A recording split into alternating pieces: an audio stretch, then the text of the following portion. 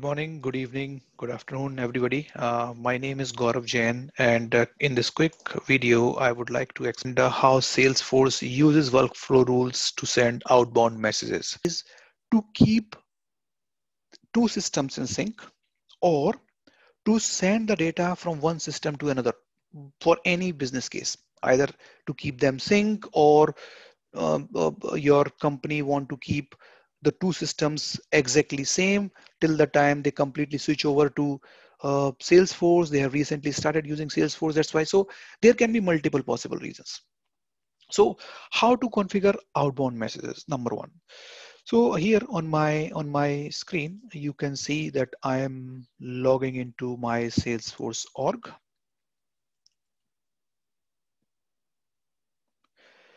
Now, how to configure outbound messages?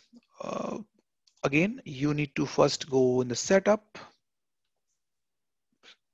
and in the quick find, you will go to find workflow rules. So here you will find workflow rules. Here you'll send, you'll see the list of workflow rule, which is already created in your org. You want to create a new rule. So when you want to create a new rule, so first you need to see that uh, um, these are the object sorry uh, i'm just taking one step back. Just for this demo purpose i have already created a test uh, on the account.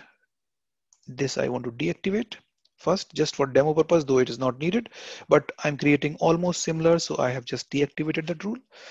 Now in the first screen you will see that on which object you want to create your workflow rule. So you'll see all those objects here just for demo purpose, I want to create, as I was explaining to you, that I want to create an object uh, account. I want to create a workflow rule, outbound message on object account. Okay, so select that object account, next. Basic configuration on the next screen uh, that you want to provide the username. You may want to provide the description, which is not mandatory, but it is good practice to uh, provide your description. So for example, in rule name, I would like to say demo account outbound. Of course, you will provide your own name, whatever you want to. Evaluation criteria created, created and every time it is edited, created and any time it is edited to subsequently meet criteria. Self-explanatory as I was explaining to you in the beginning of this. So for this, I have create, submit, selected, created, let's say okay. Now when is the criteria? So here till here the point number one is the basic the your rule name. When you want to evaluate this criteria meaning whenever the rule get created evaluate this criteria. Okay now what is the criteria? You may want to find out the difference between number two and number three which is a very interesting um, uh, point i would say that uh, when you want to evaluate the criteria every time when it is created every time when it is created or edited right? So i think the first two are very clear that whenever you are updating or only creating. So for my demo i have chosen only creating because you don't want to send the account detail again and again. So i have chosen only created. The third one is interesting. Created and anytime it is edited to subsequently meet criteria. Meaning for example uh, let's say you have uh, uh, uh just a common example. You have three fields in your object. Uh, let's say account name, account address, uh, uh, and the third one is account number. Okay. Now, every time whenever you are changing in any of the three and you have selected this, that means these criteria will get evaluated, right? Now, if the third time you're selecting created and anytime it is edited to subsequently meet criteria, for example, it says you only evaluate the criteria when the previous criteria was not meeting, right? So if let's say you have chosen anything, anything, but you your previous criteria was already meeting, then this workflow rule will not get uh, will, will not execute this criteria. So I'll leave this uh, here because you may want to uh, explore these two topics uh, further. Now, my rule criteria is just again for the demo purpose, I'm saying that account name should not equal to blank and go to the next. Now, so I have created a rule, but now I need to provide the immediate workflow action. So here you see there are two pointers, immediate workflow action and time dependent workflow action. So again, the name uh, says that the moment your rule will get executed, you want to immediately execute this action. Now time dependent, again, you can set that, okay, not immediately, but on a certain time or after these many days from this event like that. But let's go to add workflow action. And as I was explaining to you earlier, you have new task creation, email alert, field update, outbound message. So I have chosen outbound message. To configure outbound message, you need to provide few required of values. For example, name, which is again, I will give you demo outbound. Okay, unique name will auto-populate. Description, it's uh, optional, but it's good that if you provided endpoint URL. Important point here. Endpoint URL is where you want to send the data. Again, where you want to send the data, of course, this should be a listening API somewhere. That if you are sending this data somewhere, this API should be present somewhere. You cannot just say that, oh, I want to send the data to google.com or I want to send the data to abc.com.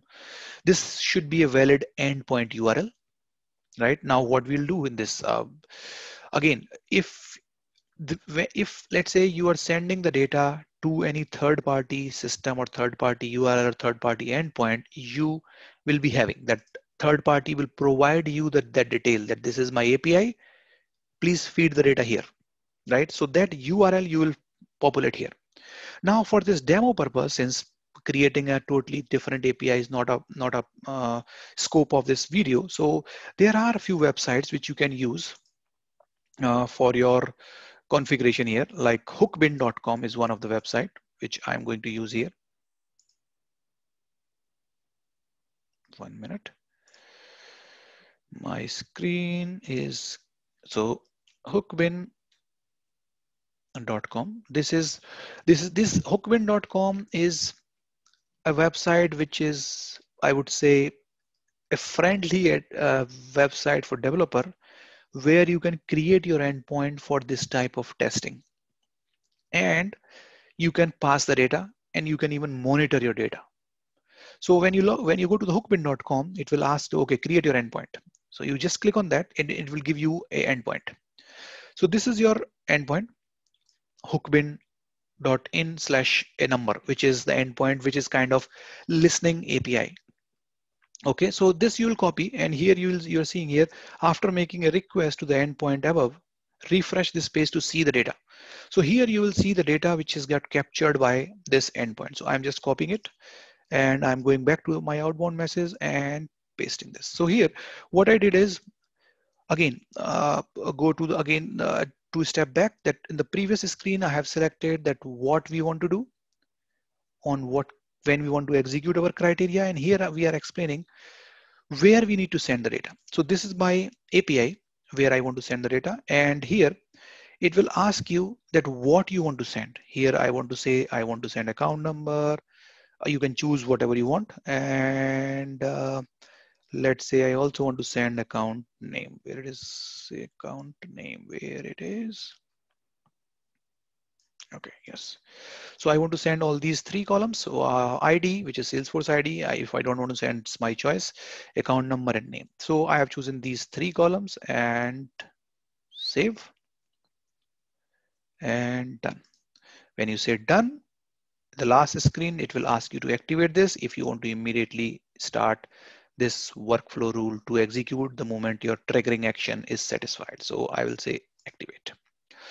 So my workflow rule is ready to run now. It says uh, that is a demo account outbound rule name.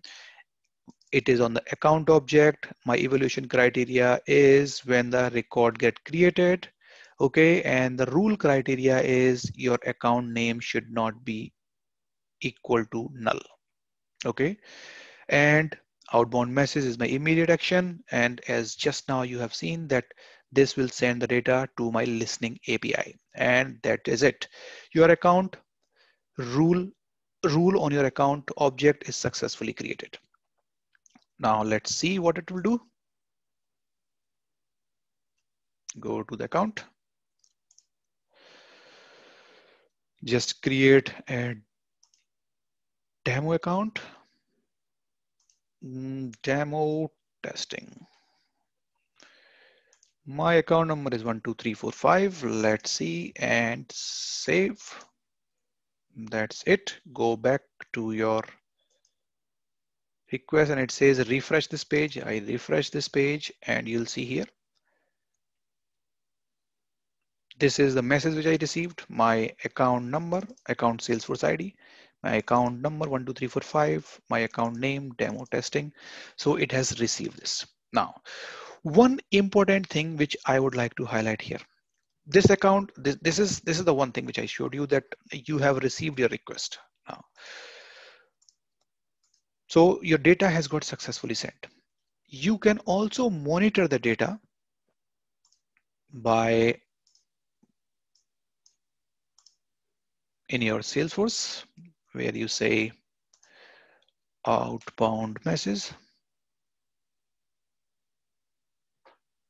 monitoring environment monitoring outbound messages. Here here you can monitor here. So this is right now i have sent the data as per my time zone. You can see 24th of january i've sent this data here. Now interesting part here if you see here the same data is appearing in the failure queue and next item for delivery things to remember here this data as per the salesforce is considered as failed meaning Salesforce is saying that I was not able to successfully deliver this data. While if I open this URL, I was able to see that my data has successfully reached, then why Salesforce is saying the data is not successfully delivered?